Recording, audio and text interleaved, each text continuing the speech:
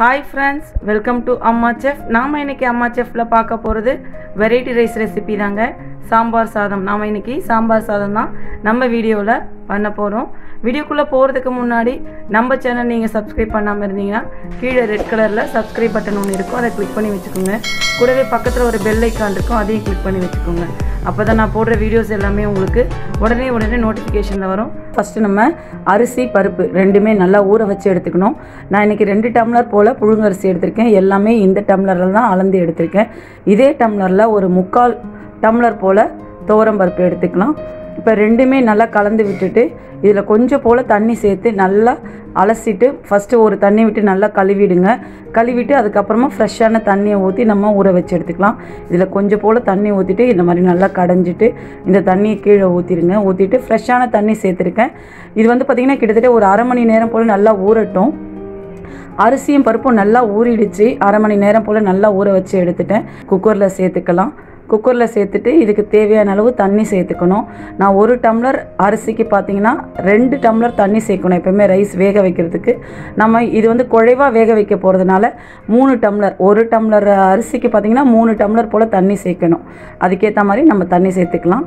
இப்போ தண்ணி எல்லாமே சேர்த்தாச்சு. சேர்த்துட்டு இது நல்லா கலந்து விட்டுருங்க. நல்லா கலந்து விட்டுட்டு இது கூடவே கொஞ்சம் போல் மஞ்சத்தூள் சேர்த்துக்கலாம். ஒரு கால் ஸ்பூன் போல் மஞ்சத்தூள் கூடவே ஒரே ஒரு ஸ்பூன் போல் எண்ணெய் சேர்த்துருக்கேன். எண்ணெய் சேர்த்துட்டு இதை லைட்டாக கலந்து விட்டுருங்க. கலந்து விட்டுட்டு இது மேலே வந்து இப்போ குக்கர் மூடியை போட்டுட்டு குறைஞ்சது ஒரு நாலு விசில் கொடுத்தா தான் நம்மளோட சாம்பார் சாதம் நல்லா வரும். இது நல்லா கலந்து விட்டாச்சு. இப்போ நம்ம குக்கர் மூடியை போட்டுட்டு ஒரு நாலு விசில் வர வரைக்கும் இதை விடுவோம். இது நல்லா வெந்து விசில் வர வரைக்கும் நம்ம அதுக்குள்ளே வந்து சாம்பார் சாதத்துக்கான காய்கறியெல்லாம் வேக வச்சு மசாலா ரெடி பண்ணிடலாம். இது விசில் வந்து அடங்கி இருக்கட்டும் அப்படியே இருக்கட்டும் இது விசில் வர வரைக்கும். ஒரு கடாய் எடுத்திருக்கேன். கடாயில் ரெண்டு டேபிள் ஸ்பூன் போல் எண்ணெய் ஊற்றிருக்கேன் எண்ணெய் நல்லா சூடாகட்டும். எண்ணெய் நல்லா சூடாகிடுச்சு இப்போ இதில் ஒரு ஸ்பூன் போல் கடுகு சேர்த்துருக்கேன். இது கூடவே ஒரு ஆறு வரமிளகாய் சேர்த்துருக்கேன். இது ரெண்டையும் சேர்த்துட்டு இதை லைட்டாக கலந்து விடணும். இது கூட வாசனைக்காக கொஞ்சம் கருவேப்பிலை சேர்த்துக்கலாம். சேர்த்துட்டு லைட்டாக இதை கலந்து விட்டுடலாம். கலந்து விட்டுட்டு ஒரு இருபத்தஞ்சு போல் சின்ன வெங்காயம் எடுத்திருக்கேன். சின்ன சின்னதாக இருக்கிறதுனால நான் சின்ன வெங்காயம் இருபத்தஞ்சி எடுத்திருக்கேன். இது கூடவே பெரிய வெங்காயம் ஒரே ஒரு வெங்காயம் மீடியம் சைஸில் எடுத்து கட் பண்ணி போட்டிருக்கேன். இப்போ இதை நல்லா வதக்கி எடுத்துடலாம் பொன்னிறமாக வெங்காயம் வந்து சின்ன வெங்காயம் சேர்த்திங்கன்னா சாம்பார் சாதம் நல்லா ஒரு டேஸ்ட் கொடுக்கும். அதனால் சேர்த்தாச்சு. இது நல்லா வதங்கி வந்துடுச்சு பாருங்கள் இப்போ நம்ம தக்காளி சேர்த்துக்கலாம். நான் பெரிய தக்காளியாக ஒரு தக்காளி சேர்த்துருக்கேன். சின்னதாக இருந்தால் நீங்கள் ரெண்டு சேர்த்துக்கோங்க. இப்போ தக்காளியும் நல்லா குழைவாக வதக்கி எடுத்துடலாம். வெங்காயம் வதங்கினா மாதிரியே தக்காளி நல்லா குழைவாக வதங்கிருச்சு பாருங்கள் இது கூடவே நம்ம இப்போது காய்கறிலாம் சேர்த்துக்கலாம். நான் இன்றைக்கி ஆறு வகையான காய்கறி சேர்த்துக்க போகிறேன் ஃபஸ்ட்டு பார்த்தீங்கன்னா முருங்கைக்காய். முருங்கைக்காய் ஒரு முருங்கைக்காவை மேலே இந்த மாதிரி தோலெல்லாம் நீக்கிட்டு சின்னதாக கட் பண்ணி போட்டிருக்கேன். கூடவே ஒரு கேரட்டை கேரட்டில் வந்து இந்த மாதிரி சின்ன சின்னதாக கட் பண்ணி போட்டுக்கோங்க. கூடவே ஒரு நாலஞ்சு அவரைக்காவும் கட் பண்ணி போட்டிருக்கேன். ஒரு நாலஞ்சு பீன்ஸு சேர்த்துருக்கேன். ரெண்டு கத்திரிக்காய் இந்த மாதிரி சின்ன சின்னதாக கட் பண்ணி போட்டிருக்கேன். கூடவே ஒரு உருளைக்கிழங்க தோல் நீக்கிட்டு இந்த மாதிரி சின்ன சின்னதாக கட் பண்ணி போட்டிருக்கேன். நம்ம விருப்பம் தான் காய்கறி சேர்த்துக்கிறது. சாம்பார் சாதத்துக்கு தேவையான அளவு நான் உப்பு இப்போவே சேர்த்துருக்கேன். ஒன்றரை ஸ்பூன் போல் சேர்த்துருக்கேன். நீங்கள் அளவு பார்த்து போட்டுக்கோங்க. ஒரு கால் ஸ்பூன் போல் மஞ்சத்தூள் சேர்த்துருக்கேன். இப்போ இது எல்லாத்தையுமே நல்லா ஒரு ஒரு நிமிஷம் போல் நல்லா கலந்து விடணும். காயெல்லாம் நல்லா வந்து வெங்காய தக்காளியோடு சேர்ந்து நல்லா வர அளவுக்கு நம்ம கலந்து விட்டணும் நல்லா கலந்து விட்டாச்சு ஒரு நிமிஷத்துக்கு. இப்போ இது கூடவே நம்ம புளி கரைச்சல் சேர்த்து ஊற்றிக்கலாம் நான் வந்து ஒரு லெமன் சைஸில் கொஞ்சம் கம்மியாக புளியை நல்லா கரைச்சி எடுத்திருக்கேன். ரொம்ப புளி சேர்த்தாலும் கொஞ்சம் புளிப்பு தன்மையாக இருக்கும். கரெக்டாக பார்த்து ஒரு லெமன் சைஸை விட கொஞ்சம் கம்மியாக சேர்த்துக்கோங்க. இதுக்கு தேவையான அளவு தண்ணி. ஒரு நாலு டம்ளர் போல் நான் தண்ணி ஊற்றிருக்கேன் தண்ணி வந்து பார்த்திங்கன்னா நம்ம மசாலாலாம் சேர்க்கும் போது நல்லா வெ காய் வெந்து கொஞ்சம் கம்மியாயிடும். அதனால் கரெக்டாக சேர்த்துக்கணும்.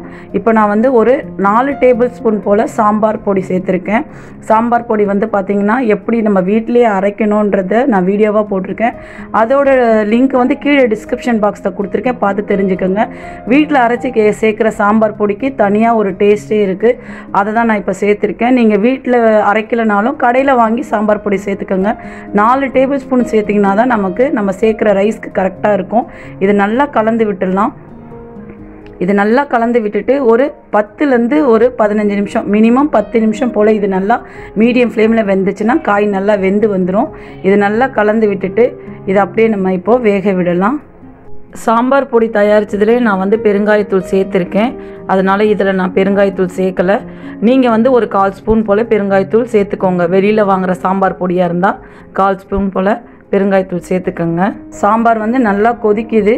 இப்போ இது கூட கொஞ்சம் போல் வெல்லம் சேர்த்துக்கலாம். எப்போவுமே இந்த சாம்பார் சாதத்துக்கு கொஞ்சம் லைட்டாக இனிப்பு இருந்துச்சுன்னா நல்லாயிருக்கும்.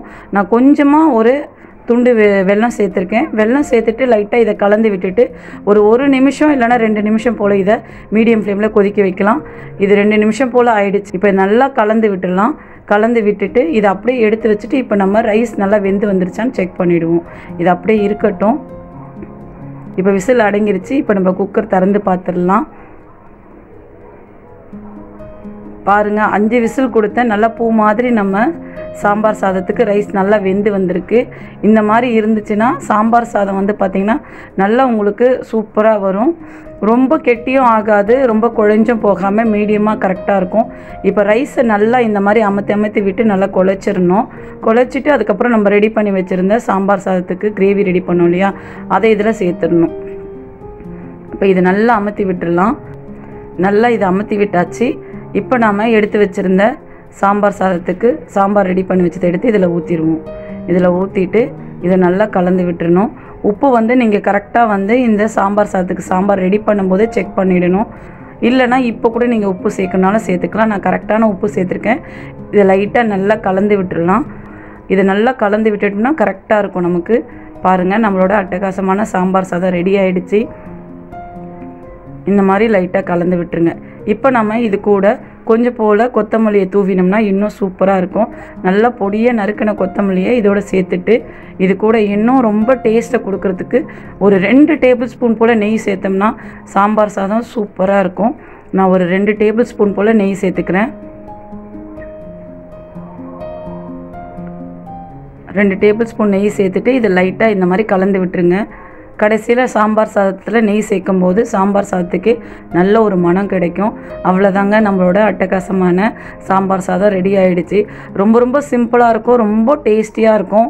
நீங்கள் வந்து ஒரு அஞ்சு மணி நேரம் ஆறு மணி நேரம் கழித்து இது கெட்டியாயிடுச்சு அப்படின்னு நினச்சிங்கன்னா நீங்கள் மீதி இருக்கிற சாம்பார் சாதத்தில் நல்லா சுட சுட தண்ணியை தேவையான ஒரு அரை டம்ளர் ஒரு டம்ளர் போல் நல்லா காய்ச்சி இதில் சேர்த்து நல்லா கலந்து விட்டிங்கன்னா நமக்கு திரும்பவும் ஃப்ரெஷ்ஷான சாம்பார் சாதம் கிடைச்சிரும். நீங்களும் உங்கள் வீட்டில் செஞ்சு பாருங்கள் செஞ்சு பார்த்துட்டு உங்களோட கமெண்ட்ஸ் எனக்கு கொடுங்க. இந்த வீடியோ உங்களுக்கு பிடிச்சிருந்ததுன்னா மறக்காமல் அம்மா செஃப் சேனலை சப்ஸ்கிரைப் பண்ணி வச்சுக்கோங்க. நன்றி வணக்கம்.